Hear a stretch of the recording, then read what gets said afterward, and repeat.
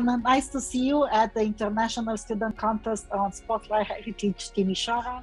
Uh, many greetings from the National Museum of Banat, Timișoara. We are very delighted uh, to, to do this uh, project since 2019 for the people of Timișoara and for all the visitors of Timișoara. Hello to all, and I'm uh, very eager to see the final uh, presentation of the students. Hello, my name is Marius Tataru. I'm from Polytechnic University of Timișoara. My name is uh, Oliver. I'm from Aalborg University in Denmark, and I'm uh, a master student of uh, medialogy. Good morning, good afternoon. Uh, my name is uh, Doresita Marino. I'm a student uh, the master Heritage and Digital Technology in the Università uh, Modena Reggio Emilia.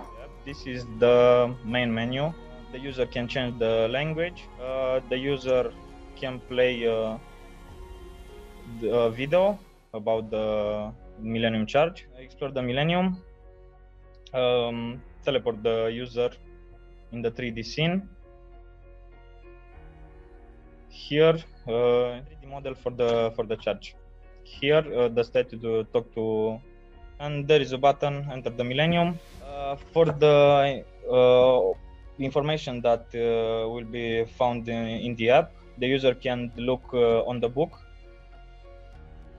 or uh, inside the the church are different spots marked with question marks.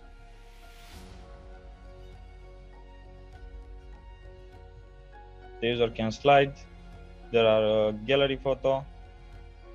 Uh, the the information that uh, is found uh, uh, in the book is also found right there, where you can slide to the information, and it changed from one 360 photo to another. The story has seven chapters, wrote by Doresita. My project um, was to make the story as uh, interactive, interactive uh, possible uh, throughout the sculpture uh, San Giovanni Nepomuceno. We made a, a main config files that stores uh, which language uh, you want to speak that every game object uh, fetches information from and, and can switch between different UI elements depending on the language. Hello, my name is Silvio. I'm a student at the University of Polytechnica Timișoara. And uh, my colleagues are uh, Luca Contardi and uh, Cristian. Okay, so hello everybody. My name is uh, Luca Contardi. I'm a student at the second level master in heritage education digital technologies at the University of Modena and Reggio Emilia. I'm, uh, I'm Christian. I'm also a medialogy student uh, from the uh, Aalborg University in Denmark. I work the interaction alongside Oliver. We have uh, a menu in where we can uh, select the language, a video of church of uh, Roman Catholic Church.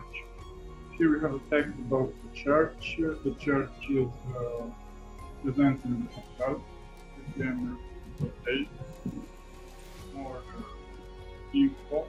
As, as Oliver mentioned, it's the technical aspect isn't all that interesting. Um, to go in depth with any of it is like uh, maybe some of the technical challenges might be fun to hear about. So one of them is the focusable objects inside the church, where there's a little question mark. Yes, so the, the basic idea of the storytelling was the fact that the church will actually present herself or itself. Uh, and the idea was of churches and buildings in general as actually a repository of stories that could actually tell a lot of different stories. And we wanted to show also the fact that in building something, in building a monument, there are actually many workforce collaborating together to make something good, beautiful, and also magnificent, uh, just like this church. I like the um, how uh, build the, the stories were put together and uh, how they were implemented. Um, some some small things like um, I believe could be improved, like uh, uh, scrolling in uh, VR. I think it's not that uh, natural, like scrolling a web page. So maybe we could find some other uh, control um, um, control buttons or stuff like this uh, to make a, larger text to fit on one screen.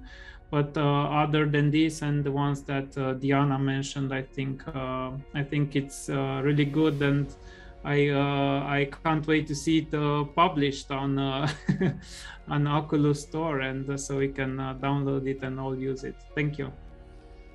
Yes, uh, thank you very very much. Um, because I will need to say that I'm very pleased with what you have done and with all of these activities, and that um, you managed to create it a sort of gaming and interactivity on discovering the churches and the churches are itself telling the stories also of the architecture and the, the, the, how to say the religious artifacts but also the stories of the people around there i will uh, declare if silvio uh, we just chatted a tiny bit before here uh, and we both agreed uh, including marius that uh, we declare both teams to be winning. And in this situation you will all have our congratulations for uh, winning the yeah for winning the first international student contest on Spotlight Heritage, and maybe we will use you as examples for the next year students. Thank you very very much for this, and congratulations.